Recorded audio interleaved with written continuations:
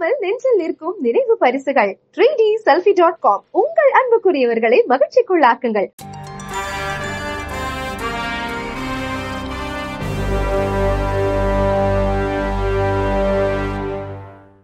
இந்த எட்டு சதவீதத்தோட மட்டும் சினிமா வாழ்ந்து விடாது. இதை தவிர திருமா உலகத்திலே சிலருக்கு வரலாம் சிலருக்கு ஏற்படுத்தலாம் திரு வருத்தம். ஆனால் தமிழ் திரைப்பட உலகத்துக்கு ஏன் இந்திய திரைப்பட உலகத்துக்கே தேவை சீர்திருத்தம்? இன்னைக்கு சினிமா சின்ன பின்னமாகி கொண்டிருக்கிறது. வெகுஜன மக்கள் சினிமா திரையரங்கத்துக்கு வர முடியவில்லை. ஏன்? இதற்கான கருத்தரங்கம் நடத்தப்பட வேண்டும் கலந்துரையாடல் நடத்தப்பட வேண்டும். எடுத்து சொல்லுவேன். இதை நான் ரொம்ப நாளாக சொல்லிக்கிட்டு இருக்கேன். டிக்கெட் ரேட்டு இவ்வளவு அதிகமாக இருந்தால் மக்கள் திரையரங்கத்துக்கு வர முடியாது. வர முடியாது. ஏன்? அது என்ன காரணம்? படத்தோட பட்ஜெட் ஏன் ரிலீ இதாச்சு? என்னத்துக்காக இவ்வளோ பெரிய பட்ஜெட்டு இவ்வளோ டிக்கெட் ரேட்டு அப்படின்னு சொன்னால் நூறு ரூபாய்க்கு மேலே நூற்றி இருபது தான் டிக்கெட்டு நூறுரூபா டிக்கெட்டு அதிகபட்சமாக இவ்வளவு டிக்கெட்டுனா இந்த டிக்கெட் ரேட் கொடுத்து சாதாரண ஏழை எளிய நடுத்தர மக்கள் வர முடியாது தேட்டருக்கு வரவே முடியாது. ஒரு ஏழை தொழிலாளியுடைய கூலி தொழில் இதுவே வந்து இரநூறுபா அதில் நூற்றி இருபது ரூபாய்க்கு டிக்கெட் கொடுத்து பார்க்கணுன்னா எப்படி சார் முடியும்? அங்கே உள்ளே போனால் பாப்கார்ன் இருக்க விற்கக்கூடிய வேலை அத்தனையும் கொடுத்து குழந்தை குட்டிகளுக்கு வாங்கி கொடுத்து படம் பார்க்க முடியுமா? ஒரு நாள் ஒரு காலத்தில் திரையரங்கத்துக்கு திரைப்படங்கள் வெளியானால் அந்த படம் வெற்றி பெற்று விட்டால் தேர் திருவிழா திருவிழாவை போல இருக்கும். ஊர் திருவிழாவை போல இருக்கும். ஒரு பண்டிகை போல இருக்கும். அவ்வளவு மக்கள் கூடக்கூடிய இடமாக இருந்த தமிழ் திரையுலகம். இந்த தமிழ் திரையுலகத்திலே வாழ்ந்த மன்னாதி மன்னன் நாடோடி மன்னன் நாடாண்ட மன்னன் மக்கள் திலகம் பொன்மன செம்மல் புரட்சி தலைவர் எம்ஜிஆர் அவர்கள் சினிமாவிலே கொடிகட்டி கோட்டையிலையும் கொடிகட்டி பறந்த அவர் வாழ்ந்த காலம் இங்கே. நடிகரத்தில் மறைந்துவிட்ட நடிகர் திலகம் நடிப்பின் இமயம் சிம்மக்கருளூன் சிவாஜி கணேசன் அவர்கள் இருந்த காலம் எங்கே? அப்படிலாம் இருந்த சினிமா சினிமா உலகத்தில் திரையுலகம் எப்படி இருந்தது? அன்னைக்கு என்ன? இன்னார் மட்டும் இவர் பெரிய நடிகர்கள் நடித்த படம் அது மட்டும்தான் வாழ வேண்டும். மக்கள் திலகம் எம்ஜிஆர் நடித்தா போகிறோம் நடிகர் நடித்தா போகிறோம் இந்த படம் மட்டும் சினிமாவா? எத்தனை நடுத்தர படங்கள் வந்திருக்கும்? எத்தனை இயக்குனர்கள் உருவாகி இருப்பார்கள் எத்தனை நம்முடைய இயக்குனர் திறம் மறைந்துவிட்ட மாமேதை கே எஸ் கோபாலகிருஷ்ணன் படைப்பு எத்தனை? மறைந்து மறைந்துவிட்ட இயக்குனர் டி ஆர் ராமண்ணாவோட படைப்பு என்ன? மறைந்துவிட்ட இயக்குனர் ஸ்ரீதரோட படைப்பு என்ன? மறைந்துவிட்ட இயக்குனர் பாலச்சந்தர் அவர்களுடைய படைப்பு என்ன? பி. மாதவன் சார் டைரக்டர் இருக்கார்? அவருடைய படைப்பு என்ன? ஏசி திருலோச்சந்தர் படைப்பு என்ன? பிரம்மாண்டங்களை கொடுத்து விட்ட ஜெமினி எஸ். எஸ். வாசன் இங்கே? அதை போல வந்து ஏவிஎம் நிறுவனம் அதை போல வாகின நிறுவனம். இவங்கெல்லாம் பிரம்மாண்டமான படம். படத்தை எடுத்து அவங்க மட்டும் கோடி கோடியாக வீட்டுக்கு பணத்தை எடுத்துகிட்டு போயில்ல. அவர்களெல்லாம் பிரம்மாண்டமான படம் எடுத்தார்கள். புரட்சி தலைவர் எம்ஜிஆர் உலகம் சுற்று வாலிபன் என்ற ஒரு படம் எடுத்து வெற்றி பெற்றார் என்றால் எப்படி? சும்மா சாதாரணமாக எடுத்துக்க முடியுமா? ஏழை ஒரு ஏழை விவசாயில ஒரு நடுத்தர குடும்பத்தால் ஒரு ஏழையால் வானத்தில் விமானத்தை வானத்தில் தான் பார்க்க முடியும் சார். அவன் விமானத்தில் ஏறிய பார்க்க முடியாது. உலக உருண்டை சுத்துறதை பார்த்துருக்கலாம். ஆனால் உலகத்தை சுற்றி பார்க்க முடியாது. ஒரு உலகம் சுற்று வாலிபன் ஒரு படம் எடுத்து அந்த படத்துக்கு அத்தனை கோடி செலவு பண்ணி தன்னுடைய ரசிகன் பாமரத்தனமான ரசிகன் கூட இந்த படத்தை பார்க்க வேண்டும் என்று தன்னா தான் இழந்தாலும் பரவாயில்லை. இந்த மக்களுக்காக வெகுஜன மக்களுக்காக படம் எடுப்பேன் என்று பறைசாற்றிய அந்த புரட்சி தலைவர் நினைத்தே முடிப்போம். எம்ஜிஆர் இங்கே. தான் மட்டும்தான் சம்பாதிக்க நினைச்சாரா? தான் மட்டும்தான் கோடி கோடியா அத்தனை பணத்தையும் வீட்டுக்கு எடுத்துட்டு போன அந்த அந்த மாமனிதன் நினைக்கவில்லை. அதனால் தான் தமிழ்நாட்டை ஆண்டார். அதை போல புரட்சி தலைவி அந்த அவரோட வெளியில் வந்த அந்த அம்மா இவர்கள்லாம் திரையுலகத்துக்கு அது மாதிரி தமிழகத்தை ஐந்து முறை ஆண்ட தமிழகத்தின் முன்னாள் முதல்வர் கலைஞர் அவர்கள் இந்த தமிழ் திரையுலகத்துக்கு திரையுலகத்திலேருந்து வந்த காரணத்தில் அவ்வளவு விஷயங்கள் திரையுலகத்துக்கு. கேளிக்க வரியா தமிழில் டைட்டில் வச்சா முழு கேளிக்க வரி விளக்கு தரேன் அப்படின்னு சொன்ன கலைஞர். இப்படி இவர்களெல்லாம் இருந்த அந்த திரையுலகம் வாழ்ந்த காலம் இன்னைக்கு இல்லை. திரைப்படங்களுக்கு இன்னைக்கு டிக்கெட் ரேட்டு கடுமையாக இருக்குது இந்த டிக்கெட் ரேட்டுக்கு மக்கள் உள்ளே வர முடியாது. உடனே பெரிய பட்ஜெட் படம்னு சொல்லுவீங்க. ஒன்றும் இல்லை ட்ரெயின் போகுது. ட்ரெயினில் ஒரே டிக்கெட் ரேட்டு தான். இந்த டிக்கெட் ரேட்டில் எல்லாரும் ஏறிக்கணும். எப்படி சார் முடியும்? முடியாது. நான் இது கோரிக்கை வைக்கின்றேன். இது பரிசீலிக்கப்பட வேண்டும். ட்ரெயினில் கூட ஃபர்ஸ்ட் கிளாஸு அந்த காலத்தில் செகண்ட் கிளாஸ் தேர்ட் கிளாஸ் இருந்தது. இப்போ தேர்ட் கிளாஸ் எடுத்து ஃபர்ஸ்ட் கிளாஸ் செகண்ட் கிளாஸு அதில் ரிசர்வ்டு அன்ரிசர்வ்டு அதில் கூட. ஆக ஃபர்ஸ்ட் கிளாஸ் இருக்கும் செகண்ட் கிளாஸ் இருக்கும். இந்த த- அதிக ரேட்டு கொடுக்குறவங்க அங்கே அதில் உட்காடுறாங்க இந்த ரேட்டு கொடு இதே தான் சினிமாவில் இருந்தது. ஃபஸ்ட் கிளாஸ் செகண்ட் என்னோட தேர்ட் கிளாஸ் அந்த காலத்தில் இருந்தது. எப்படி? முப்பது பைசா டிக்கெட்டு தர டிக்கெட்டு அடுத்தது அறுபது பைசா டிக்கெட்டு அடுத்தது ஒரு ரூபா. மூணு கிளாஸ் இருந்தது. இந்த கிளாஸ் ஏன் மாறியது? எல்லாருமே ஒரே மொட்டாக உள்ளே நுழைஞ்சிட்டா இவ்வளோ ரூபா டிக்கெட்டுக்கு ரேட்டு கொடுக்கணும் என்று மக்களை இப்படி வெகுஜன மக்கள் திரையரங்கத்துக்கு வர முடியவில்லை. இதற்கு காரணம் யார்? நான் ஒருவர் மீது குற்றத்தை நாம் சுமத்தவில்லை. ஒட்டுமொத்த திரையுலகம் இது குறித்து சிந்திக்க வேண்டும். இதை திருமா தேட்டரில் தேட்டருக்கு போனால் ஆயிரம் பேர் உட்காந்து படம் பார்த்த தேட்டரில் இன்னைக்கு என்னன்னு கேட்டால் முப்பது பேர் உட்காந்து பார்க்கல சார். நாற்பது பேர் பார்க்கல சார். சினிமா தேட்டரில் பேய் அடித்த மாதிரி இருக்கு. ஏன் இந்த நிலைமை? படைப்புகள் வரல. அந்த மாதிரி படைப்புகள் வந்த காரணத்தால் தான் இன்னைக்கு டி. ராஜேந்தர் ஒருதலை ராகம்னு ஒரு படைப்பை முதல் படம் வாங்குறதுக்கே ஆள் இல்லை. தேட்டரில் அத்தனை ஷோ போட்டு தான் ரிலீஸ் பண்ணி தேட்டர் கிடைக்க கஷ்டப்பட்டது. ஒரு டி ராஜேந்தர் எங்கேருந்து வந்திருப்பாரு? ஒரு இயக்குனர் உரிமையம் பாரதிராஜ் எங்கேருந்து வந்திருப்பாரு? ஒரு பா ஒரு பாக்கியராஜ் எங்கேருந்து வந்திருப்பாரு? எங்கேருந்து ஒரு பார்த்திபன்? எங்கேருந்து ஒரு சேரன்? இவர் மணிரத்னம் சாருங்க இவ்வளவு படைப்பு வர வேண்டும். ஒரு தங்கர் பச்சனுங்க சினிமா உலகத்தில் படைப்பு வர வேண்டும். வெறும் பெரிய பெரிய படங்கள் மட்டும் வாழ்ந்தால் போராது. பெரிய ஸ்டார் எத்தனை படம்? சூப்பர் ஸ்டார் ரஜினிகாந்த் இருக்கலாம் சூப்பர் ஆக்டர் கமலஹாசன் இருக்கலாம்.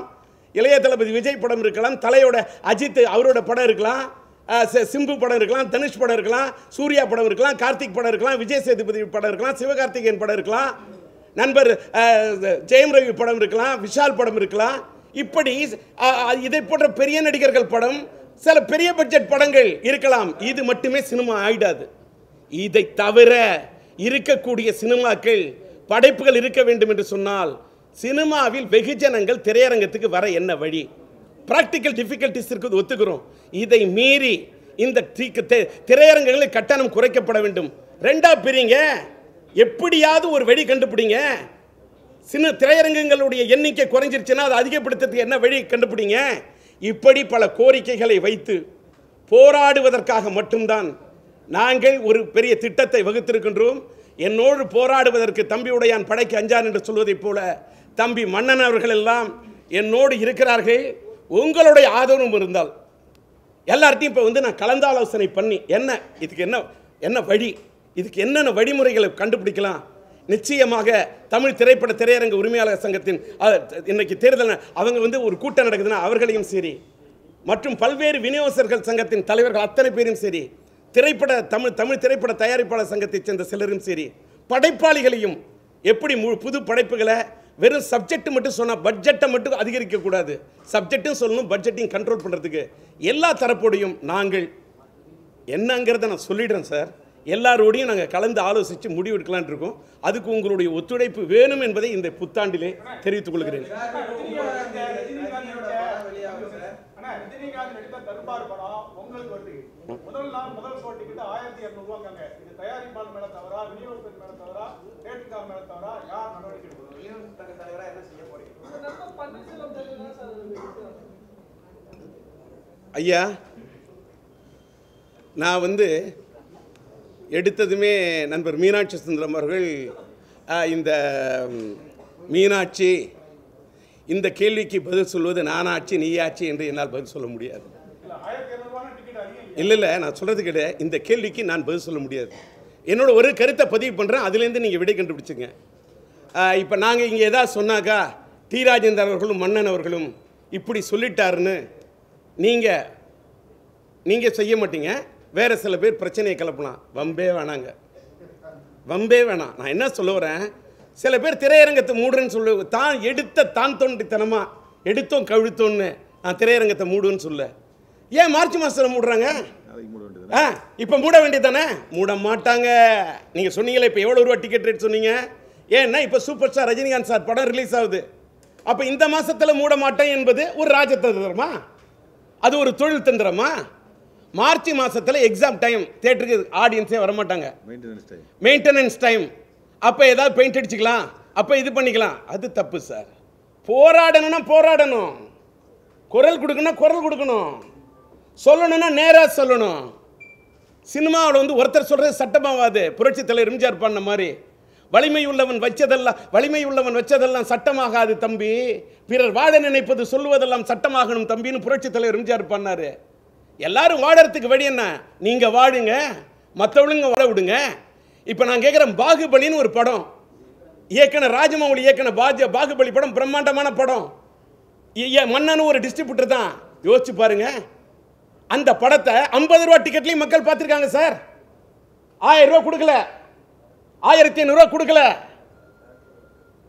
இரநூறுபா கொடுக்கல. நூறுரூபா நூற்றி இருபது ரூபா எண்பது ரூபா ஐம்பது ரூபா. உண்டா இல்லையா? அந்த படம் எவ்வளோ பெரிய கலெக்ஷன் அத்தனை கோடி.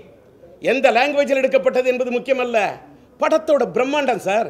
நான்லாம் அவ்வளோ படம் பிரம்மாண்டமாக எடுத்திருக்கேன். நான் சம்பாதிச்ச பணத்தெல்லாம் வீட்டில் கொண்டாந்து பணப்பொட்டியில் வைக்கல. என் படப்பொட்டியில் போட்டேன். எத்தனை படங்கள்? எத்தனை படங்கள் ஓடி இருக்கு? அதனால் இன்னைக்கு கூட போராடுறேன்னா சினிமா விட்டு அவுட் டேட்டில் இருக்கக்கூடாது. நான் இன்றைக்கி படம் எடுக்கிறேன் இந்த வருஷம் முன்னாடியே படம் ஆரம்பிச்சிட்டேன். படத்துக்கு செட்டு போட்டுக்கிட்டு மெட்டு போட்டுக்கிட்டு உட்காந்துருந்த என்ன தான் கொண்டாந்து மன்னன் தேர்தல் காலத்துக்கு அழைச்சிட்டு போனார். நான் இந்த வருஷம் படம் எடுக்கிறேன். ஒரு music love musical love story எடுக்கிறேன். பிப்ரவரி மாதம் ஷூட்டிங் இதை தவிர இன்னொரு பிரம்மாண்டமான படமும் எடுக்கணும்னு மன்னன் சொல்லிட்டு இருக்காரு. நான் கரண்ட்ல சினிமாவில் இருக்கிறேன். ஆனால் இந்த டிக்கெட் ரேட்டு இருந்தால் என்னன்னு சார் அவர் கேட்குறாரு Rajini sir super star sir அவர் தன்னுடைய ஸ்டார்டம் மெயின்டைன் பண்ணுறதுக்கு அவ்வளோ கஷ்டப்பட்டுருக்காரு. அதே மாதிரி அது, திரு கமல் அவர்களும் சூப்பர் ஆக்டர் கமல் அவர் ரேஞ்சுக்கு. அதே மாதிரி அஜித் தலை அதே மாதிரி வி- விஜய். இவர்களெல்லாம் ஸ்டார்டத்தை மெயின்டைன் பண்ணுறதுக்கு இது பண்ணுறாங்கன்னா அவங்க படத்துக்கு ஒரு டிக்கெட் ரேட்டுனா அதே டிக்கெட் ரேட்டு தான் வேற ஒரு படைப்புக்கும் வேற ஒரு நடிகரோட படத்துக்கும் குடுன்னா ஆடியன்ஸ் எப்படி sir ஒத்துப்பாங்க? Five star hotel Taj Coromandel இருக்கும் சோலா ஐடிசி இருக்கும் அதுவும் மற்ற ஹோட்டலும் ஒன்றாயிடுமா சார் பணம் படைத்தவர்கள் வசதி படைத்தவர்கள் சோலாவுக்கு போகலாம் சோலா ஐடிசிக்கு போகலாம் அவங்க வந்து எந்த ஃபைவ் ஸ்டார் ஹோட்டலுக்கு வேணாலும் போகலாம் எல்லா ஏழையும் போக முடியாது சார் ஏழை வந்து அவங்களோட உடுப்பி உடுப்பி பவன் உடுப்பி பவன் ஹோட்டல் ரேஞ்சுக்கு தான் போக முடியும். ஒரு சரவணா பவன் போக முடியும் பாலாஜி பவன் போக முடியும் கீதா பவன் போக முடியும். இன்னும் சில பேர் அங்கேயும் போக முடியாது கையேந்தி பவன் தான் போக முடியும்.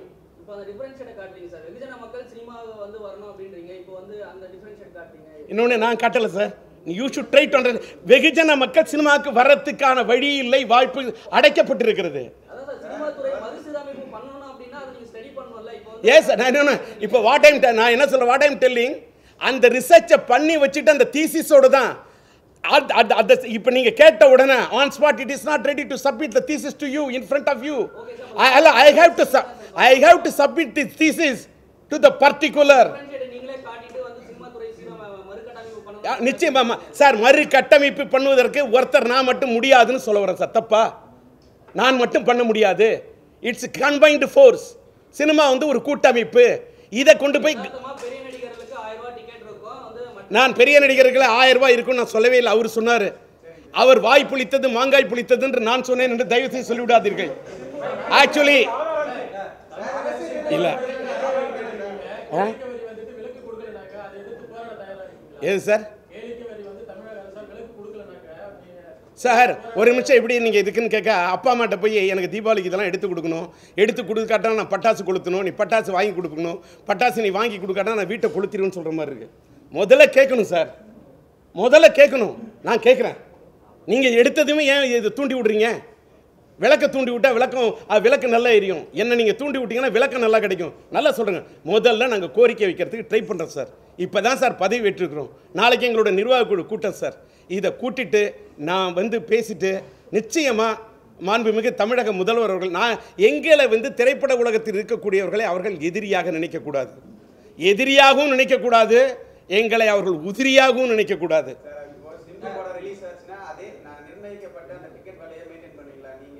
சார் ஒரே ஒரு நிமிஷம். நான் சிலம்பரசன் என்பவர் என் மகன் பிறப்பதற்கு முன்னாடி சினிமா உலகத்தில் இருக்கிறேன். நான் அதை பற்றி பேசிகிட்டு இருக்கேன். இதற்கு மேல் இந்த கேள்வி என்ன இப்போ சூப்பர் ஸ்டார் ரஜினியை பற்றி பேசுனீங்க. என்னோட சமகால நண்பர் நன்றி நண்பா. அதோட இதை இதை இந்த கேள்வியை இது பண்ணுங்க ஆ. ஆயிரத்தி இரநூறுவா டிக்கெட் ஆதரிக்கிறீங்களா எதிர்க்கிறீங்களா சார் எது சார் ஆயிரத்தி இரநூறுவா டிக்கெட் ஆதரிக்கிறீங்களா எதிர்க்கிறீங்களா இங்கே ரிப்போர்ட் இல்லை தேட்டரே போடல சார் எங்க டிக்கெட் இன்னொன்னு சார் ஒரு சின்ன ஒரு விஷயம் சார். சொல்லுங்க பதிவு பண்ணுங்க. செங்கல்பட்டுல நீங்க சொன்ன மாதிரி ரோகிணி தேட்டருக்கு இது வரைக்கும் படமே கன்ஃபார்ம் ஆகல. இன்னும் அந்த படமே போட்டு முடிக்கல. நீங்க சும்மா எடுத்தோடனே நீங்க ஆயிரத்தி இரநூறுவா டிக்கெட் எடுக்கிறீங்க எப்படி சொல்லுங்க இன்னுமே படமே போடல. நீங்க ரோகிணி தேட்டருக்கு இன்னும் அந்த தர்பார் படம் கன்ஃபார்ம் ஆகல பிரதர் ஒட்டுமொத்தமா என்ன தேட்டர் இது பாருங்க செங்கல்பட்டு ஏரியால ரெண்டே ரெண்டு தேட்டர் தான் கன்ஃபார்ம் ஆயிருக்கு. ஒன்னு மலடியில ஒரு தேட்டர் கன்ஃபார்ம் ஆயிருக்கு. இன்னொன்னு காஞ்சிபுரம் பக்கத்துல ஒரு சின்ன இது ரெண்டு தான். பெரிய தேட்டருக்கு இன்னும் படம் போடல. இல்ல அவர் சொல்றதுக்கு காரணம் சென்னை செங்கல்பட்டு ஏரியா வாங்கி இருக்கக்கூடிய நண்பர். எங்களுடைய இணைச் செயலாளர் தான் எங்களுடைய வாங்கியிருக்காரு. இணைச் செயலாளர் தான் வாங்கியிருக்கிறாரு. அதனால எடுத்தோம் கவிழ்த்தோம் இவ்வளவு ரூபா ரேட்டு இன்னும் பல தேரங்கள் இது சொல்றீங்க சார் ஒரு வருத்தத்துக்கு ஒரு விஷயத்தை பதிவு பண்றோம். செங்கல்பட்டாவது இன்றைக்கு விலைக்கு வாங்கிட்டாங்க. வட ஆற்காடு மாவட்டம் நார்த் ஆற்காடு சித்தூர் உட்பட வடார்காடு தென்னார்காடு மாவட்டம் அந்த படம் இன்றைக்கு வியாபாரம் செய்ய முடியாமல் தடுமாறுகிறது ஏன்? தத்தளிக்கிறது ஏன்? இது பல சினிமாக்குள்ள ஒரு பிரச்சனை இல்லை சார் நான் உங்களை கொத்த ஒரு கரை சொல்லல. நீங்கள் கூட கொஞ்சம் டீப்பாக ஸ்டடி பண்ணணும். அவ்வளோ விஷயங்கள் பிரச்சனை சார். அவ்வளவு ப்ராப்ளம் இன்னைக்கு இந்த மீடியாலாம் வரதுக்கு முன்னாடி பிரிண்டிங் மீடியாவில் பத்திரிக்கை எப்படி இருந்ததுன்னு எல்லாருக்கும் மீனாட்சி சுந்தரத்துக்கு கூட தெரியும். அன்னைக்கு இருந்த தினத்தந்தி என்ன அன்னைக்கு இருந்த ஹிண்டு என்ன எக்ஸ்பிரஸ் என்ன தினமலர் என்ன தினகரன் என்ன தினமணி என்ன இன்னைக்கு அந்த பத்திரிக்கைலாம் எவ்வளோ நான் ஒன்றும் தப்பாக சொல்ல எவ்வளோ போராட வேண்டியிருக்கு. போராடுகிறது. போராடினங்க போராடி கொண்டிருக்கிறார்கள். அதனால் வந்து ஐயோ ஊடகங்கள்லாம் வந்து விட்டது நாங்கள் போராட மறுத்துக்கிட்டு ஓடி விடுவோம் என்றவர்கள் ஓடவில்லை. இன்றைக்கும் காலையில் எல்லாரும் தந்தி படிக்க வேண்டியிருக்கு தினகரன் படிக்க வேண்டியிருக்கு தினமலர் படிக்க வேண்டியிருக்கு தினமணி அவங்கவுங்களோட டேஸ்ட்டுக்கு ஹிண்டு படிக்க வேண்டியிருக்கு தமிழ் ஹிண்டு படிக்க வேண்டியிருக்கு எக்ஸ்பிரஸ் படிக்க வேண்டியிருக்கு டெக்கான் கிரானிக்கல் படிக்க வேண்டியிருக்கு டைம்ஸ் ஆஃப் இந்தியா படிக்க வேண்டியிருக்கு.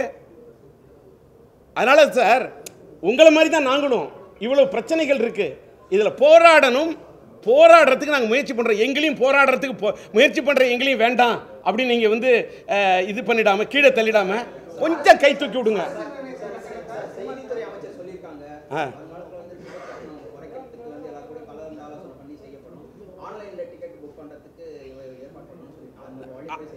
இன்னொன்று சார் செய்தித்துறை அமைச்சர் சொல்லியிருக்கிறாருன்னு சொன்னால் அதை வரவேற்கிறேன். அவர் வந்து அது வந்து இன்னைக்கு இருக்க இன்னைக்கு நானும் இப்போ என்ன சொல்கிறேன் முதலமைச்சர் அவர்களையும் துணை முதல்வர் அவர்களையும் செய்தித்துறை மந்திரி அவர்களையும் அவர்களாம் எனக்கு நண்பர்கள் தான். போய் சந்தித்து எங்களுடைய ஆங்கிளில் எங்களுடைய குறைகள் எடுத்து சொல்கிறோம் எவ்வளோ குறை- இதை வந்து திரைப்பட திரையரங்குகள் மூட வேண்டும் என்பது என்னுடைய கோரிக்கை அல்ல. ஒரு ஒட்டுமொத்தமாக நிறைய பிரச்சனை இருக்குது இப்போ கியூபு கட்டணம் குறைக்கப்படணும். கியூபுக்கு ஒரு லைஃப் கொடுக்கப்படணும். பழைய படங்கள் ஓடுறதுக்கு ஏதாவது வழி வகை செய்யப்பட முடியும்? பண்ணப்படணும். இப்படி பல கோரிக்கைகள் இருக்குது சார் திரைப்படங்களில் திரையரங்குகளில் கட்டணம் சார். ஒரு நூறு பேர் உட்கார்ற சீட்டில் முப்பது பேர் மட்டும் படம் பார்க்க விட்டுட்டு மீதி சீட்டு எல்லாத்தையும் அப்படியே எம்டியாக வைக்கிறதை விட கொஞ்சம் சார் இன்னைக்கு நாட்டில் மூன்று தரப்பு மக்கள் இருக்காங்க. வசதி படைச்சவர்கள் பெரிய ஹோட்டலில் சாப்பிட்றாங்க. வசதி இல்லாதவங்க ஒரு ரேட்டு அதை விட வசதி இல்லாதவர்கள் கையேந்தி போகணும் தியேட்டரில் குறைந்தபட்சம் நாங்கள் எங்களோட கோரிக்கை ஒரு இருபத்தஞ்சிலேருந்து முப்பது சதவீதம் சாதாரண டிக்கெட்டும் கொடுக்கப்பட வேண்டும் அந்த விலை கட்டணம் எவ்வளவா இருக்கணும் சார் அதான் சொல்கிறோம் நூறுரூபாக்குள்ளே கட்டணம் இருக்குன்னா ஒரு ஐம்பது ரூபா டிக்கெட் கொஞ்சம் வேணும்.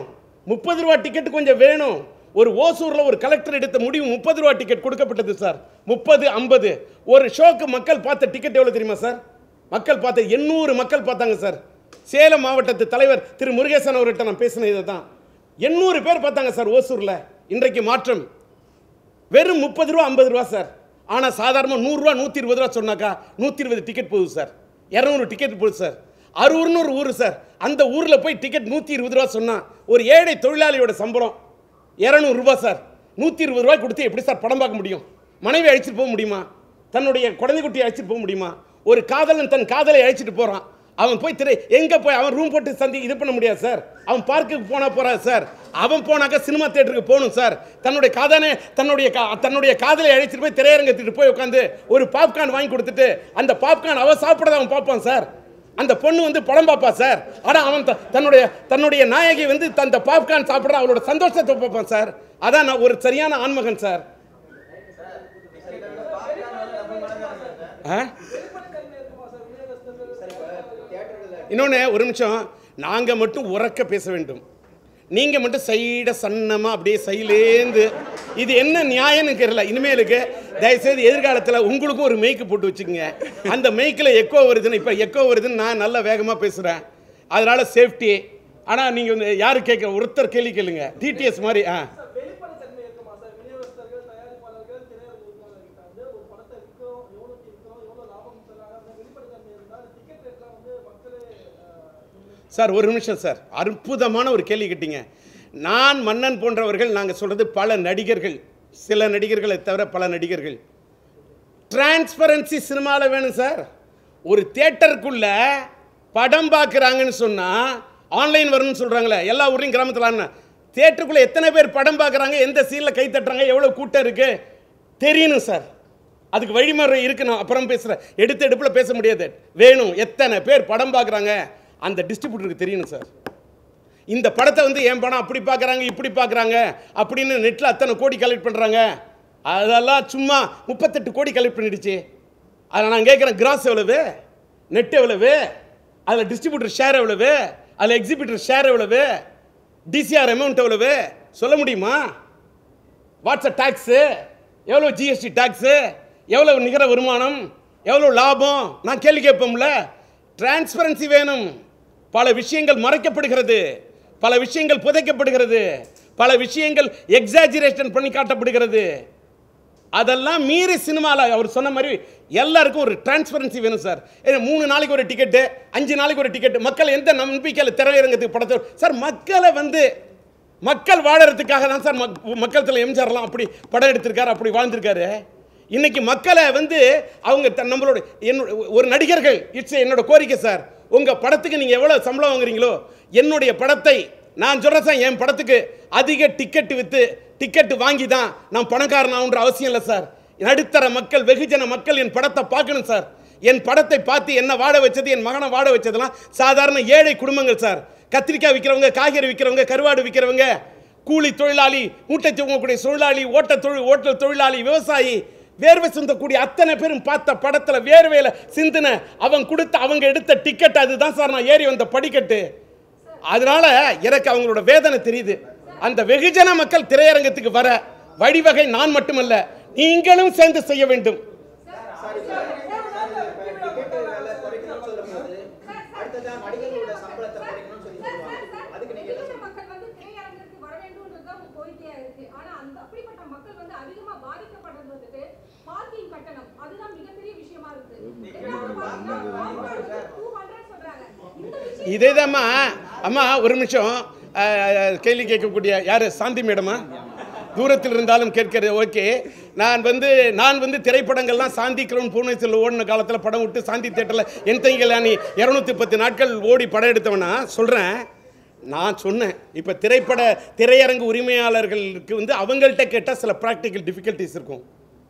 இதெல்லாம் அவங்கள்ட்டையும் பேசி பார்க்கிங் கட்டணம் இருக்குது அதில் வந்து டூ ரெட்டை சக்கர வண்டிக்கு ஒரு இது இருக்குது கார் பார்க்கிங் இருக்குது அது அப்புறமா வந்து அவங்களுக்கு வந்து காரணம் என்ன? கேன்டீன் ஒரு கேன்டீனில் ஒரு அஞ்சு ரூபாய்க்கு வெளியில் கிடைக்கக்கூடிய பொருள் அங்கே உள்ளே போனால் பத்து ரூபான்னு சொல்கிறதெல்லாம் மக்களால் தாங்க முடியவில்லை. எனக்கே தெரியுது. ஆனால் இப்போ திரையரங்கு உரிமையாளர் நாளைக்கு தான் கூட்டம் போட்டிருக்காங்க. அவங்க அவங்களோட ப்ராக்டிக்கல் டிஃபிகல்ட்டிஸை சொல்லுவாங்க. இது எல்லாத்தையும் கலந்து பேசி அதற்கப்புறம்தான் இதற்கு ஒரு நான் மட்டுமே நீங்கள் ஏன் இப்படி விற்கிறீங்க ஏன் இத்தனை நாள் விற்றவங்களாம் இத்தனை நாள் விட்டுக்கிட்டு இருந்தாங்களே? நீங்கள் ஏன் அவங்கள்ட்ட கேள்வி கேட்க முடியல? நானாவது இன்னைக்கு திரைப்பட ஒன்று ஒன்று கேளுங்க என்னோட நண்பர்கள் யாரா? மீனாட்சி சுந்தரம் சொல்லட்டும். இல்லை சாந்தி மேடம் நீங்கள் சொல்லுங்கள் இன்னைக்கு தான் திரைப்படங்களுடைய டிக்கெட் கட்டணம் குறைக்கப்படணும் டி ராஜன் சொல்லுவேன் நான் வீராசாமி எடுத்து பன்னெண்டு வருஷம் சினிமா படமே எடுக்க வரலன்ட்டேன். இந்த சூழ்நிலையில் இன்னைக்கு நான் படம் எடுக்க வரேன்னா இன்னைக்கு சினிமா இப்படி இருக்குது வெகுஜன மக்கள் தேட்டருக்கு வந்தால் தான் சார் படம் எடுக்க முடியும்.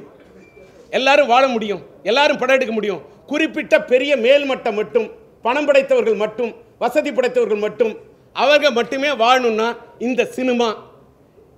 மக்கள் தலைவர் எம்ஜிஆர் புரட்சி தலைவர் எம்ஜிஆர் அவர்களும் புரட்சி தலைவர் அம்மா அவர்களும் தானே தலைவர் கலைஞர் மறைந்து விட்ட கலைஞர் அவர்களும் இவங்கெல்லாம் சினிமா உலகத்துக்கு செஞ்சாங்க சார். சினிமா உலகத்திலேருந்து வந்தாங்க சார். அவங்க சினிமா உலகத்துக்கு செஞ்சாங்க சார். இன்னைக்கு இருக்கக்கூடிய இந்த அரசு எங்களுடைய கலை உலகத்துக்கு செய்யுமா செய்யாதா? போய் கேட்குறேன் சார். கேட்டு வரேன் சார். அவ்வளோதான் சார் சார் நடிகர்களுடைய நடிகர்களுடைய சம்பளத்தை ஒரு நிமிஷம் சார் அஹ், தப்பா க- ஒரு ந- நடிகர்களோட சம்பளத்தை குறைக்கணும் முடிவெடுக்க வேண்டியது தயாரிப்பாளர் சங்கம். தயாரிப்பாளர் சங்கம் எங்கே இருக்கிறது? அதுக்கு எஸ்ஓ போட்டிருக்காங்க. வழக்கு நடந்துகிட்டு இருக்கு தயாரிப்பாளர் சங்கத்தில் தேர்தல் நடக்கவில்லை. நடிகர் சங்கத்தில் தேர்தல் நடந்தது. தேர்தல் முடிவே அறிவிக்கப்படவில்லை. ஏன் இந்த அவல நிலை?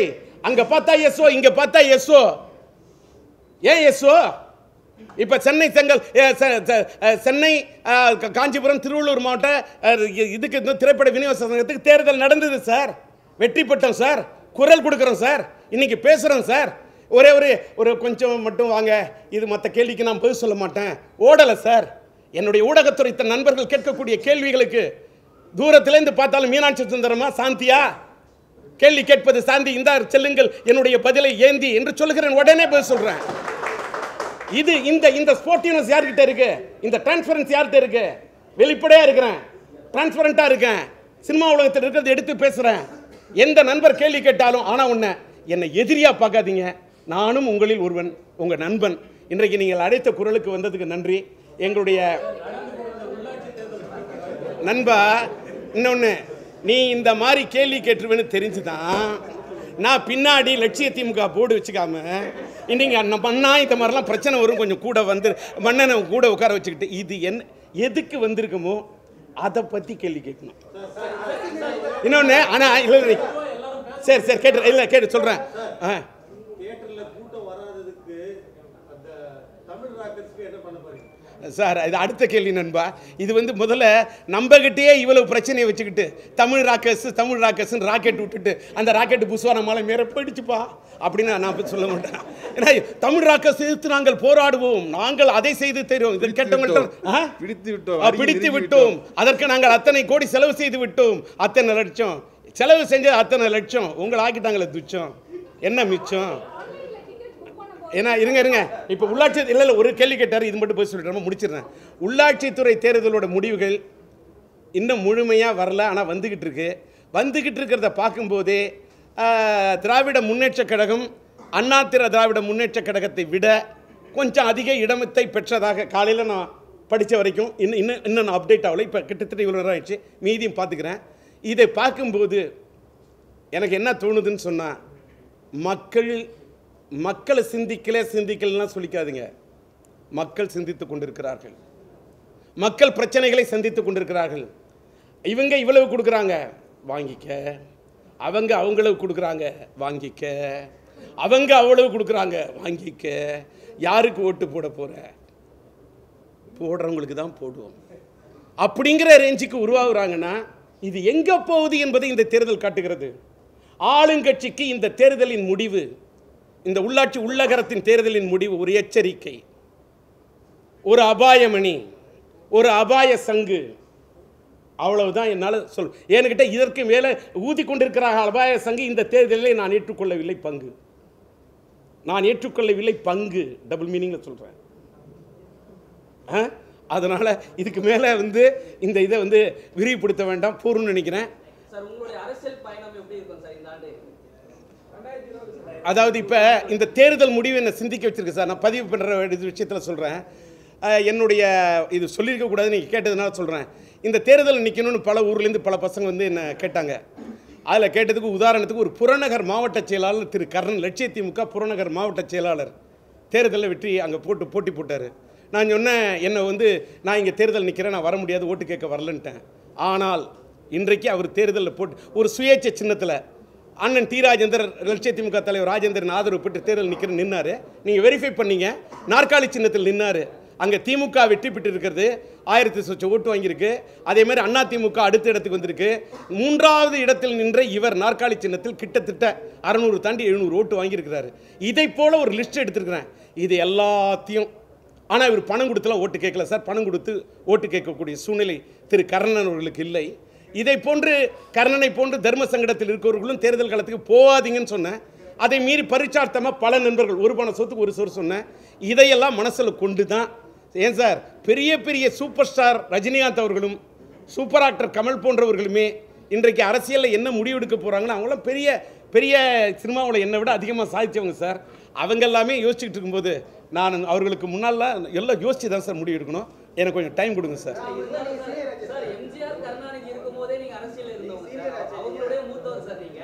சார். அரசியலில் வந்து இதில் சீனியர் ஜூனியர்லாம் முக்கியம் இல்லை சார். அரசியலில் நேரம் காலம் மட்டும்தான் சார் ஜெயிக்கும். காலம் மட்டும்தான் சார் ஜெயிக்கும். இதை தவிர இதை காலம் வேணும். எல்லாத்துக்கும் மேலே திறமை மீறி அதிர்ஷ்டமும் வேணும் சார். யோகம் வேணும் சார். இதெல்லாம் ஆ? ச- ஆ. இப்போ சங்கத்தோட தேர்தலில் எங்களுக்கு ரெண்டு ஆண்டு பொறுப்பு கொடுத்துருக்காங்க. இதில் தமிழ்நாடு முழுவதும் எங்களுடைய திரைப்பட விநியோகஸ்தர்களோட கூட்டமைப்புக்கும் எனக்கு ஒரு பொறுப்பு கிடச்சிருக்கு. இதெல்லாம் வச்சு செவ்வன செயல்பட்டு உங்களோட ஆதரவு பெற்று நல்ல பேர் பெற்ற பிறகு இதெல்லாம் யோசிப்போம் சார். நன்றி. வணக்கம்.